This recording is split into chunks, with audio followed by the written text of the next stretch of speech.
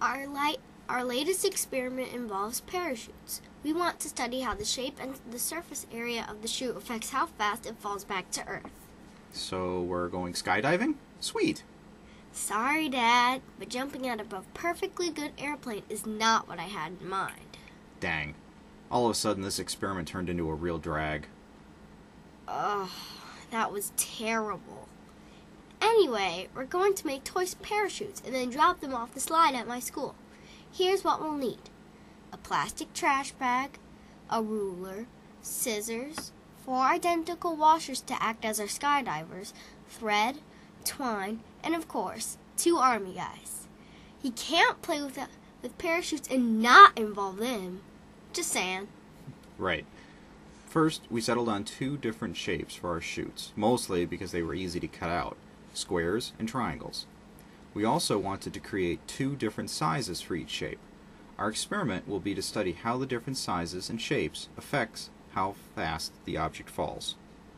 We began by cutting the plastic bag open and laid it out on the table. Then, using the ruler and a permanent marker, we drew two squares and two triangles onto the plastic.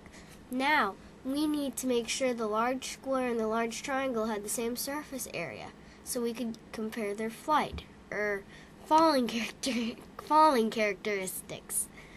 To do that, we started with the square, mostly because it was easier to calculate the area. We made the large square 10 inches by 10 inches. To calculate the surface area of a square, we multiply its width by its height. For our larger square, that was 10 inches times 10 inches, or 100 square inches. For our small square, we used a width of 5 inches and the and height of 5 inches. That this gives us a surface area of 5 times 5, or 25 square inches. Next, we needed to make two triangles that would have the same surface area of these two squares. We started with the surface areas that we wanted to get to, 100 square inches and 25 square inches. Next, we had to look at how we calculate surface area of a triangle. We start by multiplying the width and height together, just like we did with the square, but then cut that number in half to find the area of the triangle. There are geometric proofs to show why this is, but we won't go into those right now. Now it gets a little trickier. Instead of starting with the dimensions and calculating the surface area, we have to work in reverse. We know the surface area we want to get to. We need the dimensions that will get us there. Let's start with the larger triangle. We want it to end up with a surface area of 100 square inches. The formula says that this is equal to 1 half times its width times its height. To solve for W and L, we use a little algebra to get rid of the 1 half by multiplying both sides of the equation by 2. Now, since we are making this up as we go, we can just assign a value to one of these, and then solve for the other one. If we take the square root of 200, you get 14.14. So we use the measurement of 14 inches for the width, and then solve for the height, which turned out to be approximately 14.3 inches. Taking the square root allowed us to keep the two measurements close to each other, so we wouldn't end up with an overly fat or overly skinny triangle. We applied the same process to the smaller triangle and arrived at 7 inches for the width and 7.1 inches for the height. After we got the shapes drawn, it was time to get them cut out. And that wasn't quite as easy as it sounds. Dad held the plastic taut so I could cut it in reasonably straight lines but with a little teamwork, Dad and I managed. Next, it was time to attach the thread to each corner of each chute. We cut 14 lengths of thread about 12 to 15 inches each, and then started tying. Which was also not as easy as it sounds. The plastic was quite slippery, so the thread had a tendency to either slide off or not stay tightened down. Or both. Again, a little teamwork went a long way. Katherine put her finger on the knots so as, as I tied them, so they would move while I tied the next one, so they wouldn't move as I tied the next one. Once we had all of the strings attached to a chute, we tied them onto the, onto the weight. Here's our first completed chute. As you can see, I had the clever idea of tying the chute to a baby star, as shown here, but it proved to be too bright, so we switched back to single washers. Dad, you goofball. Stellar joke, by the way. Oh, geez, that was bad. Anyway, thanks to the wonderful world of editing, we can go poof, and magically all four chutes are assembled. So after we got the official test chutes assembled, I made a couple more out of paper napkins and tied my army guys to them. Those would be just for fun. They're in the picture, but camouflaged, so you can't see them.